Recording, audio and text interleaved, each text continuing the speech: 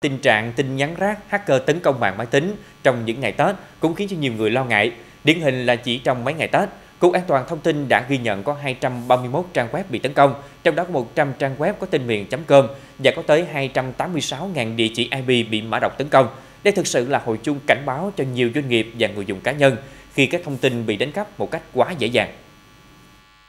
Trong dịp Tết Nguyên đán Bính Thân 2016, các doanh nghiệp Việt Nam đã chủ động trong quá trình bảo mật thông tin khi sử dụng hệ thống kỹ thuật, qua đó chặn được 120.000 thuê bao phát tán tin nhắn rác.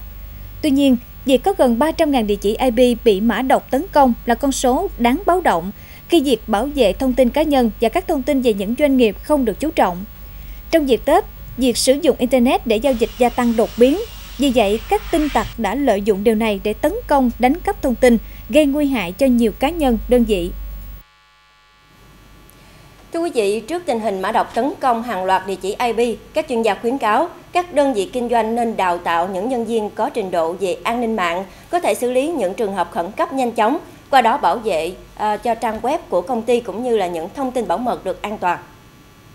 Và đối với người dùng cá nhân cần phải cẩn trọng với các trang web hay là ứng dụng di động không rõ ràng, không click vào những trang web đính kèm để tránh bị nhiễm mã độc. Ngoài ra thì một số phần mềm bảo vệ diệt virus chuyên nghiệp cũng là lựa chọn mà người tiêu dùng có thể sử dụng để bảo vệ máy tính của mình.